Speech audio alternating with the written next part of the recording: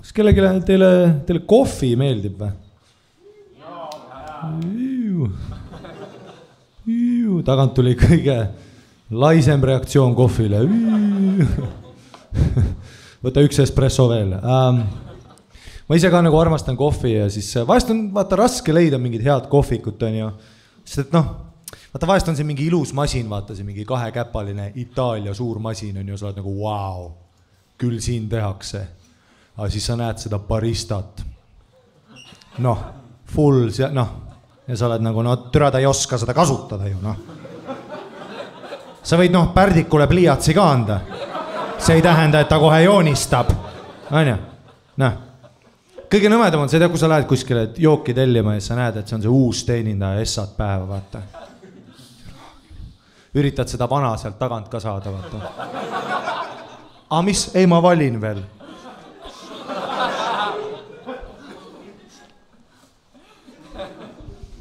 sest et noh, ja siis noh, sellele uuele ma ei oska, noh, kuidas ma üritad ka vaata, americano. siis ta mingi no Estonia.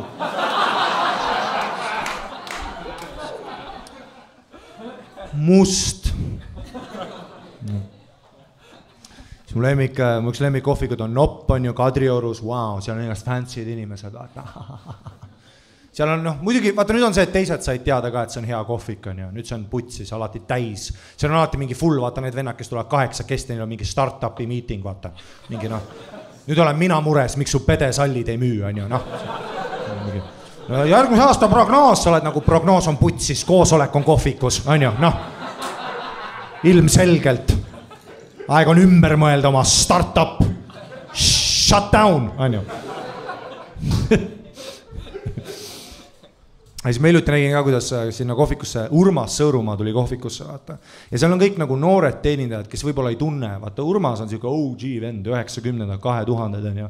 nüüd ta on nagu rohkem sihuke underground, teeb mingeid tantralaagreid kuskil ja toetab sportlasi ja värki on ju. ja siis Urmas tuli ka siukse Urmase kõnnaku, vaata rikas mees, tead, vaata rikkad inimesed tulevad niimoodi kohtadesse sisse, et nad lihtsalt vaatavad ringi noh tead, lihtsalt vaatab, noh, läheb vahepeal ise ka kööki, mis siin toimub no aa, teed siin jah? kuule, ma teen ise. ja siis Urmas seal seisab keset seda täiskohvikut, lihtsalt seisab, vaatab ringi ja siis see teenindaja, vaata, ta ei tea, noh, sest et vaata, ma ei ütle, et Urmas on munnvend, et sa pead teda teenindama ettevaatlikult, aga natuke, noh, ta on Urmas Sõõrumaa, sa ei taha talle halba teenindust anda, sest noh, kes teab, järgmine päev äkki su pass on kehtetu, on ju, noh järgmine päev ärkad, vanaema on jälle Siberis, ma ei tea. ainus, mis nad ütlesid, et latte oli külm, on ju, noh. Urmas ostab su korteri ära, su hauakohad, ostab su kuradi nime ära, on ju. ole ettevaatlik, on ju.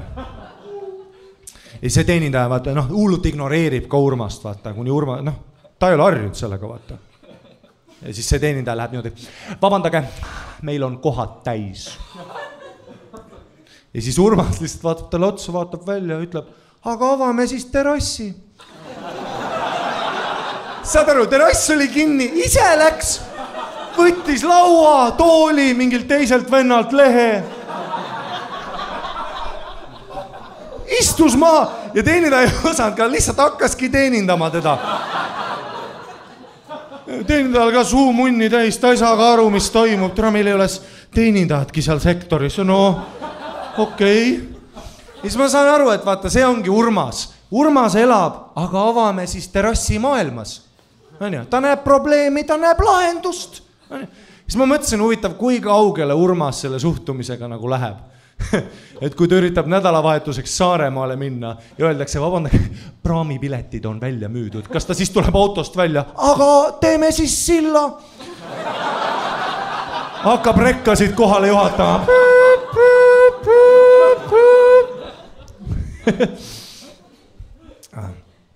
ma hiljuti sain, ma hiljuti sain väga kurva teavituse oma telefonile. ma sain Tinderilt sellise teavituse, et kümme aastat Tinderis see ei tohiks tulla nagu pring-pring, see peaks rohkem tulema nagu viiulimuusikaga, vaata. see ei ole nagu hea notification, mida saada, onju. kõige veidram ongi see, et ma olen nagu Tinderis nagu, ma olen nagu noh, üle kümne aasta olnud, kõige veidram, et ma lähen, ma lähen järgmine nädal date'ile ühe tüdrukuga, kellega ma kunagi läksin oma esimesele Tinderi date'ile. Noh, meil väga ei klappinud, ta abiellus, sai lapse, nüüd ta lahutas. Ja nüüd noh, ma olen ikka siin, ma olen nagu ma olen nagu Pirita sadamas suur tõll, alati sadamas. no tšau!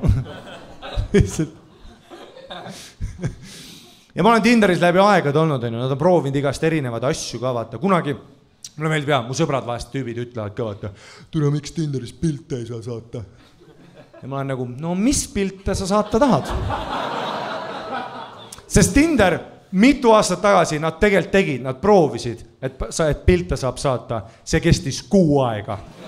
sest noh, nad ei oodanud, et seitse miljardit Türgi türa tuleb nagu, tuleb nagu day after tomorrow'is see laine. Saad aru, Tinder jooksis Essa tund kinni, kaks päeva ei töötanud, nad pidid uusi serveri ruume avama. Siis mulle meeldis mõelda ka, et mõtle, kuskil oli mingi turva, kes lihtsalt varvabki serveri ruume ja kui küsitakse, mis valvad, Egiptuse ja Türgi türad. Lihtsalt ja selle nad panid kohe kinni, onju. Kõige uuem äh, äh feature, feature, mis neil on, onju, ma nagu müün Tinderit siin, meie uusim meie kõige uuem feature actually um,. Uh, vaata, nüüd saab Tinderis, saab super like ida korra kahekümne nelja, iga kahekümne nelja tunni tagant korra saad saata super, super like'i.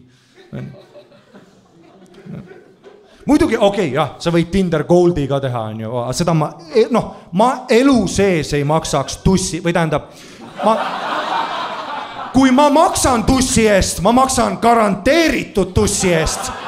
mitte, et mu radar oleks parem, onju, noh. elu sees ei maksaks, onju ehk siis tasuta inimesed saavad kahe ja ma ei saa super like imisest aru, et kas sa nagu, millal see töötab.